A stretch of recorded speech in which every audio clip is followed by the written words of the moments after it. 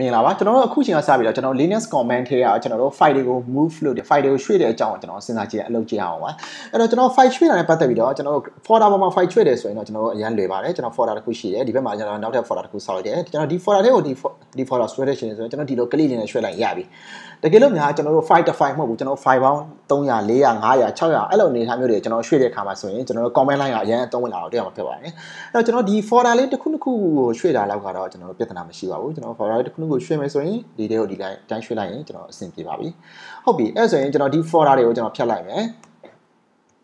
ကျွန်တော်တို့လှုပ်ဆောင်မှုတွေအကုန်လုံးကိုကျွန်တော်ကအဲ command line ပေါ်ကနေလှုပ်ဆောင်ချင်ပါတယ်အဲ့ဒီတော့ကျွန်တော် command line ထဲကိုသွားမယ်ကျွန်တော် desktop ပေါ်ကကျွန်တော် Linux command ဆိုတဲ့ကျွန်တော် folder အောက်ထဲကိုရောက်နေပါတယ်ဟုတ်ပြီကျွန်တော်ဒီ folder ထဲမှာကျွန်တော်ဘာတွေရှိလဲကျွန်တော်ကြည့်ကြည့်အောင် list ရိုက်ထုတ်ကြည့်တယ်ကျွန်တော်ဘာမှမရှိဘူးဆိုတော့တွေ့ရမှာဖြစ်ပါတယ် okay တခုခုရိုက်ထုတ်ရှင်နေဆိုရင် ls list ကိုရိုက်ထုတ်ပေးပါမယ်အဲ့ list ထဲမှာအဲကျွန်တော်တို့အကုန်လုံး data အချက်လက်အဲ့ folder folder ထဲမှာ file အချက်လက်အကုန်လုံးကိုကြည့်ရှင်နေဆိုရင် ls minor la လို့ရိုက်ထုတ်ကြည့်ပါအဲ့တော့ကျွန်တော်ဒီ folder ထဲမှာကျွန်တော်ဘာမှမရှိတာကိုကျွန်တော်တွေ့ရမှာဖြစ်ပါတယ်အဲ့တော့ဘာမှမရှိဘူးဆိုမဲ့ကျွန်တော်အဲကျွန်တော်ကျွန်တော်အခုကကျွန်တော် MacBook ပေါ်မှာဖြစ်တဲ့အတွက်ကျွန်တော်တို့ဒီမှာ DS story ဆိုပြီးတော့ကျွန်တော်ပေါ်နေတွေ့ရပါတယ်ဒါဟိုကျွန်တော်တို့ MacBook ပေါ်ကပေါ် create လုပ်လိုက်တဲ့ file လေးဖြစ်ပါတယ် system file လေးဖြစ်ပါတယ် okay ကျွန်တော် clear လုပ်မယ်ဆိုတော့ကျွန်တော်ဒီမှာ clear ဆိုတဲ့ click လေးနဲ့ကျွန်တော် clear လုပ်လို့ရတယ်ဟုတ်ပြီကျွန်တော် clear လုပ်လိုက်တယ် okay ပထမဆုံးအနေနဲ့ကျွန်တော် file တွေ create လုပ်ချင်တယ်ဆိုပါတော့ကျွန်တော် HTML file တွေ၃ file လောက် create လုပ်ချင်တယ် dash index1.html index index2.html index3.html ကျွန်တော် file 3 file ကို create လုပ်လိုက်တယ် okay ကျွန်တော်ဒီအဲ့တော့ကျွန်တော် create လုပ်လိုက်တဲ့ file တွေကကျွန်တော်အဲ့ folder အောက်ထဲမှာရှိရမယ် ls-l လေးရိုက်ထုတ်ကြည့်တယ်ဟုတ်ပြီကျွန်တော် create လုပ်လိုက်တဲ့ file တွေကအဲ့အောက်ထဲမှာရှိတာဖြစ်ပါတယ်ကျွန်တော်တကယ်လို့များကိုကပို့ပြီးတေချောင်ကြည့်ချင်တယ်ဆိုရင်ကျွန်တော် folder ထဲမှာသွားကြည့်လို့လေရဟောကျွန်တော်တို့ဒီမှာ linux ဆိုတဲ့ folder လေးရှိတယ်ဒီ folder ထဲမှာကျွန်တော် file 3 file ရှိတာတွေ့ရမှာဖြစ်ပါတယ်ဟုတ်ပြီကျွန်တော်နောက်နောက်ထပ်ကျွန်တော် file ဆိုပါစို့ index 1.css index 2.css index 3.css ဆိုပြီးကျွန်တော် file css file 3 file ကိုကျွန်တော် create လုပ်လိုက်တယ် okay ကျွန်တော် clear တစ်ခဏလောက်လုပ်လိုက်ပါမယ်ပြီးတော့မှကျွန်တော် list ရိုက်ထုတ်ကြည့်မယ် list ဒီတစ်ခါကျတော့ကျွန်တော်အတိအကျအမ် ls minor la ကိုမထည့်တော့ဘူး la minor ls minor la ကိုထည့်တယ်ဆိုရင်အဲ့ဒီ file တွေရဲ့အတိအကျဒီ file ကဘေး rewrite permission ရှိတာဒီ file ကဘေးရှင်က create လုပ်တာဘာတွေဆိုတာကျွန်တော်သိရတယ်အဲ့လိုမဟုတ်ဘဲနဲ့ကျွန်တော် ls လို့ပြောလိုက်ပြီဆိုရင်အဲ့ဒီ file ဒီ folder အောက်ထဲမှာရှိတဲ့ file တွေက file တွေရဲ့နာမည်လေးတွေနဲ့ file တွေရဲ့ extension လေးတွေကိုပဲကျွန်တော်ထုတ်ပေးမှာဖြစ်ပါတယ်ဆိုတော့အဲ့ဒီနှစ်ခုကို꿰ပြအောင်သိဖို့လိုပါတယ် list ဆိုတာကျွန်တော်အဲ့ဒီ file တွေရဲ့ file name နဲ့ extension တွေပါတဲ့ list တွေကိုရိုက်ထုတ်ပေးတာဖြစ်ပြီးတော့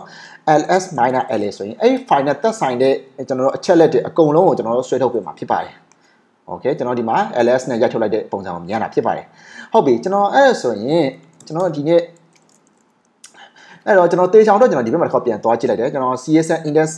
and 1.csn index 2.csn index 3.csn ဆိုတဲ့ချင်းညာပြရမှာဖြစ်ပါတယ်။ အဲ့တော့ကျွန်တော်နောက်ထပ် file လေးနည်းနည်း create လုပ်ခြင်းပဲအဲ touch နဲ့ create လုပ်လို့ရပါတယ်ကျွန်တော် create လုပ်မယ်ဆိုရင် touch touch နဲ့ create လုပ်လိုက်တယ် touch ကျွန်တော်ထိလိုက်မယ်အဲဆိုပါစို့ index 1.js index 2.js index 3.js ဆိုရင်ကျွန်တော် in javascript file 3 file ကိုကျွန်တော် create လုပ်လိုက်တယ်အဲ့တော့ကျွန်တော်ဘယ် file ရှိတယ်ကျွန်တော်ကြည့်ရှင်နေဆိုရင် list ရိုက်ထုတ်ကြည့်လိုက်တယ်ဟုတ်ပြီကျွန်တော်ကျွန်တော် install လုပ်လိုက်တဲ့က javascript file တွေပါကျွန်တော်ရောက်သွားတာကိုကျွန်တော်ဒီမှာတွေ့ရမှာဖြစ်ပါတယ် ဟုတ်ပြီအဲ့တော့ကျွန်တော် javascript file လေး create လုပ်ပြီးပြီကျွန်တော် php file တစ် file တစ် file လောက် create လုပ်ချင်တယ်အဲ dash အဲဆိုတော့ text 1.php text 2.php text 3.php text 4.php okay ကျွန်တော် text file လေး file ကိုကျွန်တော် create လုပ်လိုက်တယ်အဲ့တော့ကျွန်တော် create ပြီးတော့ကျွန်တော် browser အဲကျွန်တော် list ရိုက်ထုတ်ကြည့်တယ်ဒီခါကျတော့ ဟုတ်ပြီကျွန်တော် create လုပ်လိုက်တဲ့ test လေး file ကကျွန်တော်ဒီမှာပေါ်နေတာကိုတွေ့ရမှာဖြစ်ပါတယ်အဲ့တော့ဟုတ်ပြီကျွန်တော် folder ထဲကိုလည်းနောက်တစ်ခါပြန်သွားကြည့်အောင်ကျွန်တော်တို့ create လုပ်လိုက်တဲ့ test php file တွေလည်းကျွန်တော်ဒီထဲမှာရောက်နေတာတွေ့ရမှာဖြစ်ပါတယ်အဲ့တော့ဒီထဲမှာကျွန်တော်အခုပထမဆုံးနေနဲ့ကျွန်တော်ကျွန်တော်တစ်ခါတော့အရင်စမ်းကြည့်အောင်ဘာစမ်းကြည့်နေလဲဆိုတော့ကျွန်တော် php file တွေအကုန်လုံးကိုအမ်ဆိုပါစို့ကျွန်တော် php file တွေအကုန်လုံးကို project တစ်ခုပေါ်မှာထည့်ချင်တယ်ဆိုပါစို့အမ်ကျွန်တော် တော့ folder တစ်ခုကို create လုပ်မယ်ဆိုရင်ဒီမှာကျွန်တော် folder ကျွန်တော် directory ခေါ်တာပေါ့ folder တစ်ခု create လုပ်မယ်ဆိုရင် make make ဆိုတာ make directory ပေါ့အဲ့တော့ make directory ကိုကျွန်တော် Linux စာကျွန်တော်ကျွန်တော်ဘယ်လိုရေးလဲဆိုတော့ make dir make directory directory တစ်ခုကိုလုပ်ပေးပါလို့ပြော make make make directory directory တစ်ခုကိုလုပ်မယ် folder name ကဘာပေးမှာလဲဆိုတော့ကျွန်တော်တို့ laravel လို့ပေးလိုက်ရအောင် okay ဟုတ်ပြီကျွန်တော် Laravel ဆိုတဲ့ folder တစ်ခုကျွန်တော် create လုပ်လိုက်တယ်အဲ့ဒီထဲမှာကျွန်တော် PHP file တွေကိုကျွန်တော်ထည့်ခြင်းတယ်ဆိုတဲ့သဘောက ကျွန်တော်ဒီမှာ folder တစ်ခုကို Laravel ဆိုတဲ့ folder ကိုကျွန်တော် create လုပ်ထားတယ်အဲ့ဒီထဲမှာကျွန်တော်ဒီ PHP နဲ့ဆိုင်တဲ့ file လေး file ကိုကျွန်တော် Laravel ထဲမှာကျွန်တော်ဆွဲထည့်ခြင်းတယ်ဟုတ်ပြီအဲ့တော့ဆွဲထည့်မယ်ဆိုတော့ကျွန်တော် command လိုက်ပါဆွဲထည့်မယ်အဲ့တော့ဘယ်လိုထည့်မှာလဲဆိုတော့အဲကျွန်တော်စရေးလိုက်အောင်အဲဆိုတော့ file ကိုရွှေ့တာကိုကျွန်တော် move လို့သုံးပါတယ်အဲ့တော့ move ရွှေ့မယ် move ကိုလုပ်မယ်ဘေးထဲကိုရွှေ့မှာလဲဘေး file ကိုရွှေ့မှာလဲဆိုတော့ကျွန်တော်တို့ PHP file တွေကိုရွှေ့နေတာ PHP file အကုန်လုံးကိုရွှေ့ချင်တယ်ဆိုရင်ကျွန်တော်တို့ star နဲ့ရေးတယ် star.php ကျွန်တော် PHP file အကုန်လုံးကိုရွှေ့မယ်ဟုတ်တယ်အဲ့တော့လက်ရှိ folder အောက်ထဲက PHP file အကုန်လုံးကိုကျွန်တော်ရွှေ့မယ်ဘေးလေးကိုရွှေ့မှာလဲကျွန်တော် laravel ဆိုတဲ့ folder အောက်ထဲကိုကျွန်တော်ရွှေ့မယ်အမ်ကျွန်တော် move ဆိုတာမရှိဘူးဖြစ်တယ် Linux မှာ okay Linux မှာ move တော့မရှိဘူးဒါပေမဲ့သူ့ရဲ့အတူကောက်ကဘာရေးလဲဆို move လို့ရေးပါတယ်အဲ့တော့ကျွန်တော်ရွှေ့လိုက်တယ် okay ကျွန်တော်ပြန်ပြီးတော့အဲကျွန်တော်ဒီအချိန်မှာကျွန်တော်ပြန်ပြီးတော့ရိုက်ထုတ်ကြည့်မယ် ls-l ရိုက်ထုတ်လိုက်တဲ့အချိန်မှာကျွန်တော်ရဲ့ php file တွေမရှိတာကိုတွေ့ရမှာဖြစ်ပါတယ်အဲ့တော့ကျွန်တော်တကယ်လို့များ laravel folder တွေကိုကျွန်တော်ရိုက်ထုတ်ကြည့်ရင်ဟုတ်ပြီ ls-l list ရိုက်ထုတ်မယ် laravel ဆိုတဲ့ project folder အောက်ထည့်ရိုက်ထုတ်ကြည့်လိုက်တဲ့အခါမှာကျွန်တော်အဲ php file တွေက laravel folder တွေကိုကျွန်တော်ရောက်နေတာတွေ့ရမှာဖြစ်ပါတယ်ဟုတ်ပြီကျွန်တော်အဲ့ folder တွေကိုကျွန်တော်သွားကြည့်လိုက်တယ် laravel ဆိုတဲ့ folder ထဲမှာ okay ကျွန်တော်ရဲ့ test php file တွေကိုဒီမှာရောက်နေတာတွေ့ရမှာဖြစ်ပါတယ် ဟုတ်ပြီကျွန်တော်နောက်ထပ်ကျွန်တော်ဒီထဲမှာကျွန်တော်ဒီ folder ထဲမှာကျွန်တော် um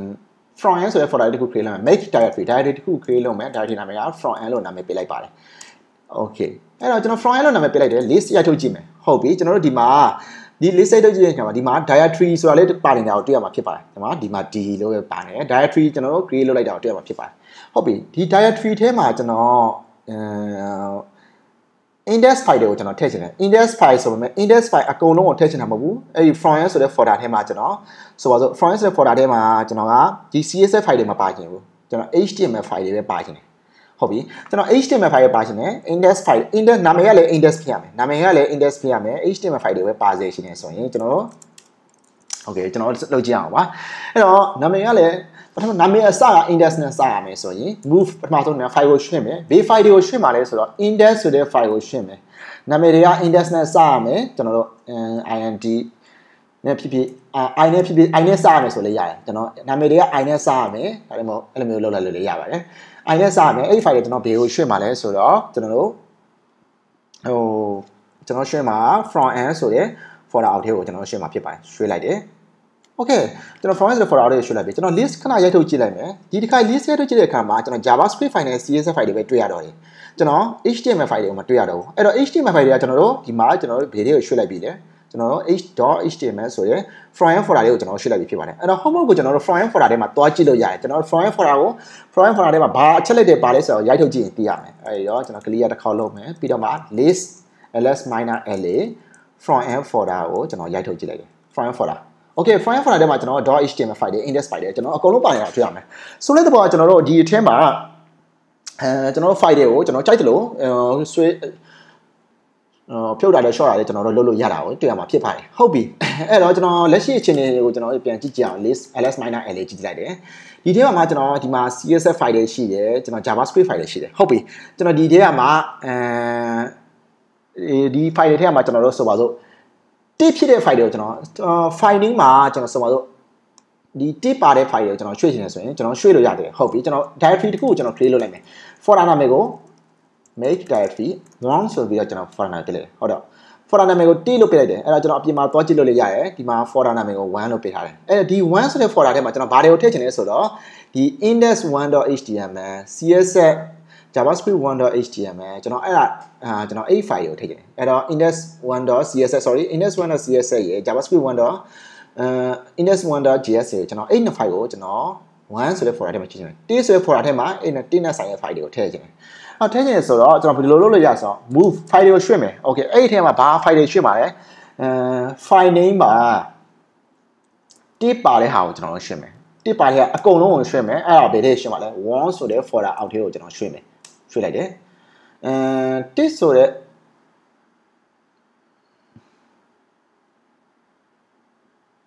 တစ်ဆိုတဲ့ sorry ကျွန်တော်ပြောတာမှားတော့ပါတယ် move ဆိုမှာ index ထဲမှာကျွန်တော်ဒီမှာ number နဲ့ရွှေ့လို့မရဘူးကျွန်တော်ဒီထဲမှာဥပမာဆိုတော့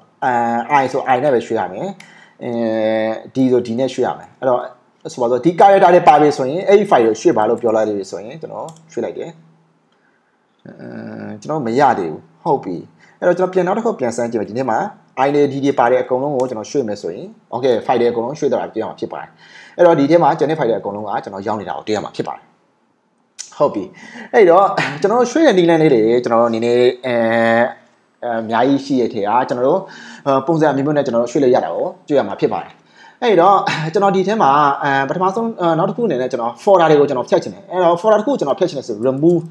ဟုတ်တယ်ကျွန်တော် folder တစ်ခုဖြတ်ချင်တယ်ဆိုရင် remove ဆိုတာ rm ကကျတော့ remove ကိုဆိုတာပါအဲ့တော့ remove ကဘာလုပ်တာလဲဆိုတော့ file ကို folder ကိုဖြတ်မယ် remove minor r directory ပေါ့ minor r directory ကိုဖြတ်မယ်အဲ့ဒီထဲမှာကျွန်တော်တို့ဆိုပါစို့1ဆိုတဲ့ directory ကိုဖြတ်မယ်ဖြတ်လိုက်ပြီးပြီကျွန်တော် clear လုပ်လိုက်တယ် folder ထဲကျွန်တော်တွားကြည့်တယ်1ဆိုတာမရှိဘူးကျွန်တော် from end နဲ့ live ပဲဖြတ်လိုက်ရဟုတ်ပြီ from end နဲ့ live ဖြတ်ဖို့အတွက် rm minor r ပြီးတော့မှကျွန်တော်တို့ဆိုပါစို့ from end ဆိုတဲ့ folder ဖြတ်မယ်ပြီးတော့မှကျွန်တော် laravel ဆိုတဲ့ folder ကိုဖြတ်မယ် folder တစ်ခါလေးနှစ်ခုစလုံးကိုကိုဖြတ်မဲ့ကောင်လေးအကုန်လုံးကိုကျွန်တော်ဒီမှာ speed bar လေးနဲ့ရေးလိုက်ရပြီအဲဒီတော့ကျွန်တော်ဖြတ်လိုက်တယ် list ရထုတ်ကြည့်မယ် ls minor l okay ကျွန်တော်ဘာမှမရှိတော့ဘူးဟုတ်ပြီကျွန်တော်အဲ့လိုဆိုရင်ကျွန်တော်အဲ folder တွေရွှေ့တာ file တွေရွှေ့တာကိုရမှာဖြစ်ပါတယ်